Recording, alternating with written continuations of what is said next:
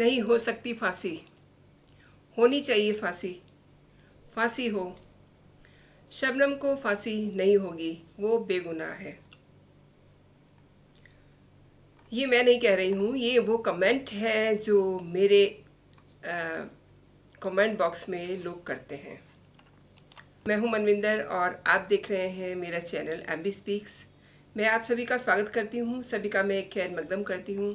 और आज एक बार फिर से मैं शबनम की बात करती हूँ कि शबनम अभी फांसी से कितनी दूर है।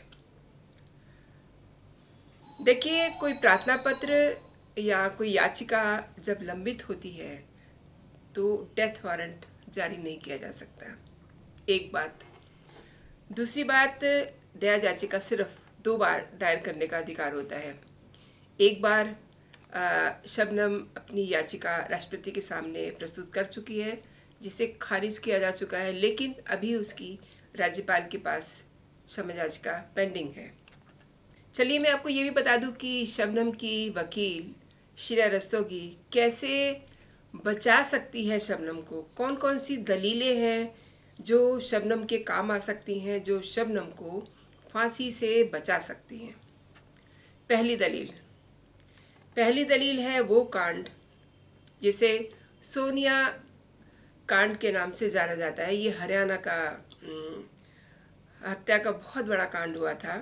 सोनिया कांड ये 23 अगस्त 2021 का आ, मामला है और इसमें विधायक रेलूराम पूनिया समेत नौ लोगों की हत्या कर दी गई थी। आ, ये मान लीजिए कि ये काफ़ी हाई प्रोफ़ाइल आ, केस था काफ़ी हाई प्रोफ़ाइल मर्डर था, जिसका आरोप विधायक रेलूराम पूनिया की बेटी और दामाद पर लगा था। बेटी दामाद ने विधायक पूनिया समेत उनकी दूसरी पत्नी कृष्णा, बेटी प्रियंका और बेटा सुनील और उन्हीं की बहू शकुंतला, चार साल के पोते लोकेश और दो साल की पोती शिवानी और मात्र तीन महीने की प्रीति की बेरहमी से हत्या कर दी थी।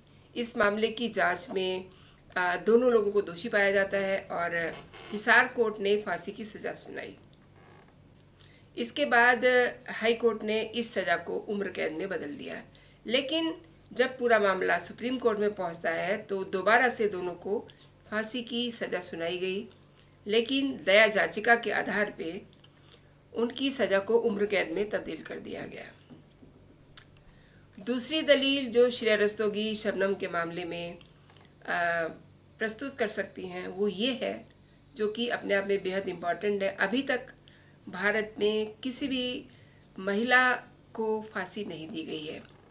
और शबनम ने अपनी दलील में ये बात भी कही है कि देश में अभी तक किसी महिला को फांसी नहीं हुई है और इसके अलावा और भी कई सीरियल किलर हैं, उनका भी नाम दिया गया है इसमें। लाइक रेणुका और सीमा की फांसी की सज़ा तय हुई थी मुकर्र हुई थी, लेकिन बाद में उनको उम्र कैद में उनकी सज़ा को तब्दील कर दिया गया। और सबसे ख़ास बात यह है कि शबनम ने सात खून किए हैं, जैसा कि कहा जा रहा है। लेकिन उन दोनों बहनों पे बयालीस बच्चों की हत्या का दोष है। दोनों बहनें 24 साल से पुणे के यरवदा जेल में बंद हैं और अभी तक इन्हें सजा नहीं हुई है। तीसरी और आखिरी जो दलील है वो बहुत दमदार है। शबनम ने अपनी याचिका में ये कहा है, उसने एक और याचिका लगाई है, क्योंकि उसके पास अभी बहुत सारे विकल्प हैं। उसने ये कहा कि 12 साल के बेटे ताज को माँ की ज़रूरत है। उसने अपने 12 साल के बच्चे का हवाला दिया है। जब शबनम ने इस जघन्य अपराध को अंजाम दिया था, तब वो प्रेग्नेंट थी और इस बच्चे का जन्म जेल में होता है। और जेल में ही ये बच्चा छः साल और सात महीने तक अपनी माँ के साथ रहता है। बाद में इसको आ, एक बुलंदशहर के कपल को सौंप दिया जाता है। आजकल ये बच्चा उन्हीं के साथ रह रहा है। तो इस तरीके से शबनम की जो वकील हैं श्रेया रस्तोगी उसके पास ये तीन दलीलें हैं जिससे वो शबनम को बचा सकती हैं। दोस्तों, आपको मेरा ये कंटेंट कैसा लगा? आप मुझे मेरे कमेंट बॉक्स में ज़रूर बताइएगा। और सबसे ख़ास बात, अगर आप मेरे चैनल पे नए हैं तो मेरे चैनल को सब्सक्राइब करना ना भूलिएगा। जय हिंद, जय भारत।